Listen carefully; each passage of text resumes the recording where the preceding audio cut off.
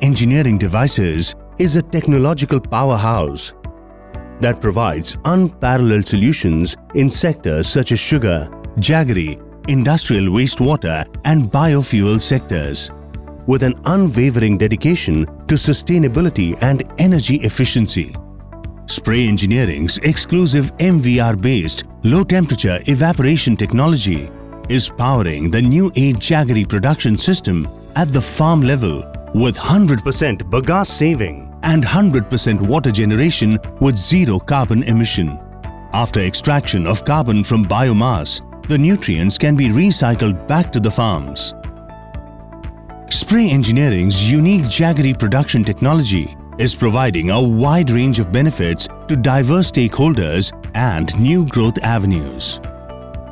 I come from the farmer's family. I am a farmer by heart even as on today. My dream was to come back to my hometown and to work for the society and farmers at large. Then I decided to put up a automatic computerized jaggery plant because the jaggery quality being served to the public at large is not good because of the masalas and chemicals.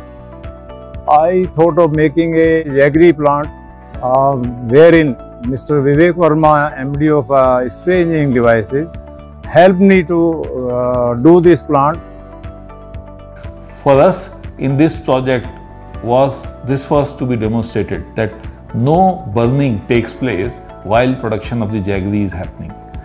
And the technology behind this is heat pumping technology, mechanical vapor recompression technology, late evaporation technology and very high extraction of the sugarcane juice in the small mills which are actually working almost as efficiently as a large sugar factory mills the technology being used is giving us 2-3% extra recovery in terms of sugar or gur. Uh, our uh, electrical consumption in comparison of other uh, small or big units is very low, that is around 35 units per ton of cane. This is the first factory in the state which has got the NOC from the Pollution Control Board.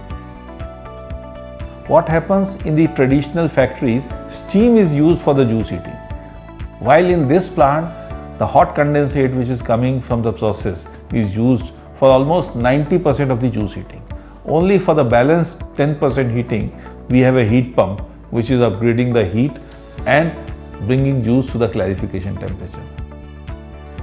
It is environment friendly technology, there is no pollution, no water pollution, no air pollution.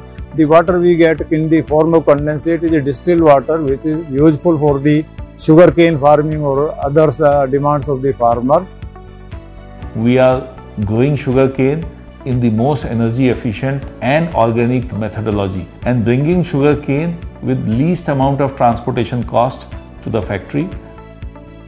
We have used the solar uh, technology also in this plant being green plant and we have successfully commissioned the plant.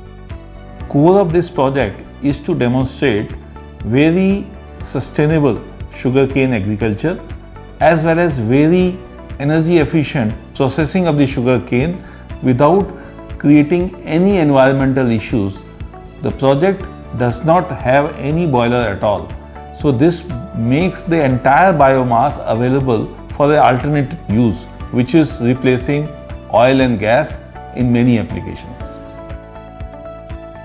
At Spray Engineering Devices, we are dedicated to developing sustainable innovations that deliver lasting benefits for individuals, businesses and the environment.